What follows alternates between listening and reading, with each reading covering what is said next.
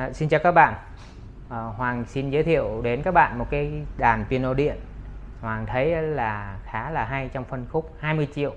Nếu các bạn đang kiếm cây 20 triệu thì đây là một đề xuất của Hoàng cây Kawai CN 29 đó cây CN 29 nó sẽ cùng phân khúc với cây Yamaha IDP 165 và cây Roland RP 501 bây giờ thì nó đã ra là Roland RP 701 rồi à, so với cây à, 165 và cây 501 thì Hoàng ưng cây này hơn về cái mặt ngoại hình. Đó, mặt ngoại hình nó rất là dễ thương. Nó có cái chân ở phía trước. Là lui ra cho nguyên quạt cây đàn. Thì cái chân đằng trước của nó nó làm cho cái đàn nó cân đối hơn. Là so với à, IDP 165 và RP 501 những ờ, cây này là bắt đầu nó ra đời vào những ờ, năm là 2019 cụ thể là cây đàn này thì Hoàng nhìn tem của cây này là 2020 đó thì ờ, nó vẫn còn khá là mới cho nên chất lượng còn lại của nó rất là tốt. Đấy, đây là một lựa chọn rất là phù hợp cho những người nào bắt đầu. Âm thanh của nó và bàn phím của nó khá xịn Hoàng đã test qua hết rồi đó. và nút bấm của nó cũng khá đơn giản thôi các bạn. Bên này là nút uh, tắt mở và nút volume để chỉnh to nhỏ. Và bên này nó có một cái màn hình nhỏ. Nguyên ờ, giúp anh tới gần hơn ha. Màn hình nhỏ. Rồi mình click lên thì nó sẽ sáng màn hình. Màn hình để lâu thì tự động nó tắt. Đó. Thì các bạn thấy không? Bluetooth thì tức là cây này nó chức năng kết nối Bluetooth đó các bạn thì kết nối Bluetooth này là kết nối Bluetooth MIDI thôi nha các bạn không có kết nối uh, audio chỉ có MIDI thôi. Tức là mình sẽ điều khiển cái đàn này bằng cái app. Cho nên là các bạn uh, thuận thì các bạn điều khiển bằng các nút bấm nếu các bạn quen. Còn không uh, trên app nó đã có thể hiện đơn giản hơn. À, nếu mà các nút bấm á, thì uh, số 1 số 2 đó và số 1 là cái gì? Nó hiện tên lên. Hai là cái gì? Nó hiện tên lên rồi. Chẳng hạn menu menu là của function của à, uh, phím chức năng á. Thì trong này là sẽ có chỉnh uh, lên xuống tông reverb nè. Thấy chưa? Cứ di chuyển xuống. Đó. Và mình có thể di chuyển lên. À dưới cùng các bạn để ý language. Nếu như à, cái đàn này nó đem từ Nhật về thì nó sẽ hiển thị là tiếng Nhật. Do đó là mình sẽ phải chuyển qua tiếng Anh. Rồi xong mình lưu lại đơn giản thôi không có gì khó. Đó. Rồi mình à, muốn thoát cái chức năng đó ra thì mình exit còn mình vào chức năng thì là mình enter. Thấy chưa? Exit hoặc enter, chẳng hạn hoàng vô transpose, thì hoàng hoàng click vô vào cái transpose này, rồi hoàng enter bằng phím số 1 à bây giờ hoàng sẽ trừ, là hoàng sẽ trừ đây.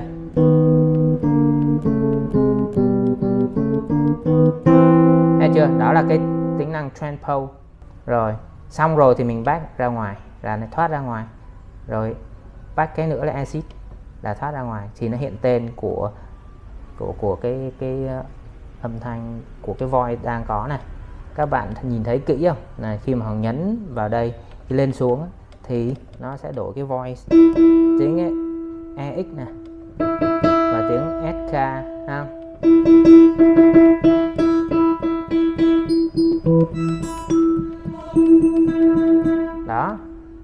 Khá khá là nhiều tiếng đó. Những cái tiếng uh, chuyên để mình sử dụng để mình tập luyện và những cái tiếng mình chơi được cả trong ban nhạc nữa. Rồi bây giờ Hoàng sẽ vô bên trong và kết nối Bluetooth với cái iPad. Thì Hoàng đã mở cái phần Bluetooth lên rồi. Bây giờ connect nè. Bây giờ mình nhìn tổng thể của nó ha. Nó có là chỉnh ờ, các tiếng nè các sao nè rồi ghép đôi sao. Split thì cái đàn này nó chưa có nên nó ẩn. Còn favorite là những cái những cái gì thích ấy, những cái sao thích thì mình bỏ vô đây. Mà không quan trọng favorite là không có không không quan trọng nha. Seeding. Seeding thì nó có tutorial connect model gì đó à, không quan trọng. Bây giờ quay trở về với selecting sao. Rồi bây giờ hoàng nhấn vào chỗ này nè. Nó sẽ ra cả một bộ luôn. Bây giờ mình nhấn vào SK trước và mình muốn nghe được cái tiếng của cái đàn này. Nó chơi nhạc gì thì nhấn play.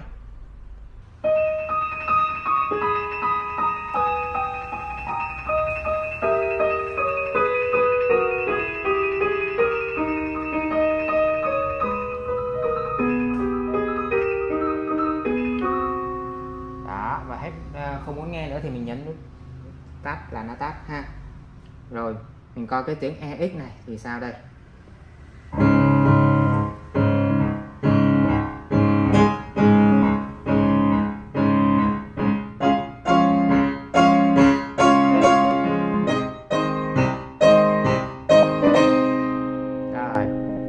Bây giờ Hoàng quay lại tiếng SK để Hoàng đàn cho các bạn nghe thử.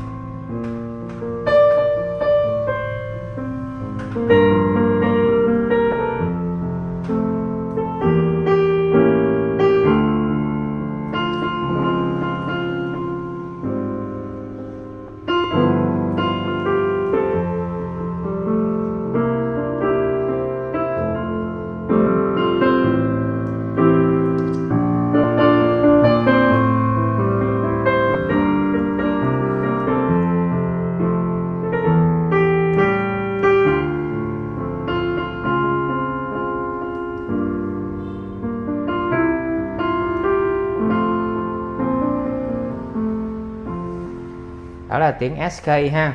Rồi hoàng thử qua cái tiếng uh, tiếp theo. Tiếng là EX đi.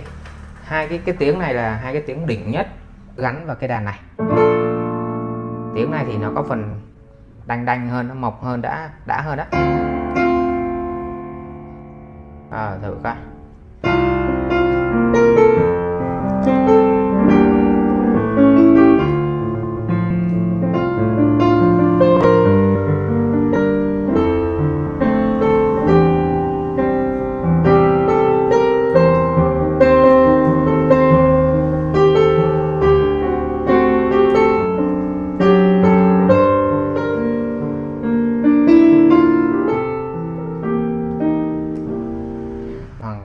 Ghép nó với một cái sao khác với cái tính năng là dual. Thì hiện giờ là AX concert Grand thì dual hiện tại nó đang hiện tên là layer nè là slow string. Anh thử coi là nó có hợp không nha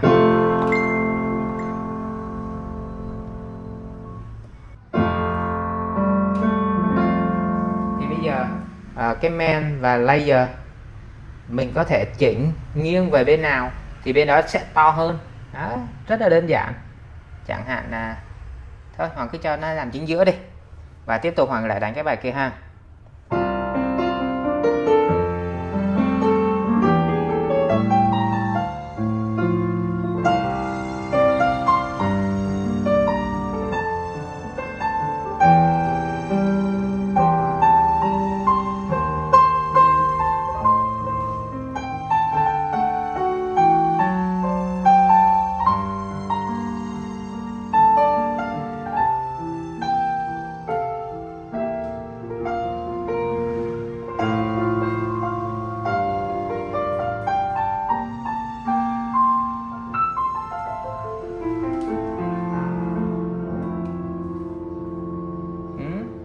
Với những cái tính năng như vậy thì các bạn thấy không? Cây này rất là phù hợp cho những người à, học đàn à, âm thanh và phím đàn.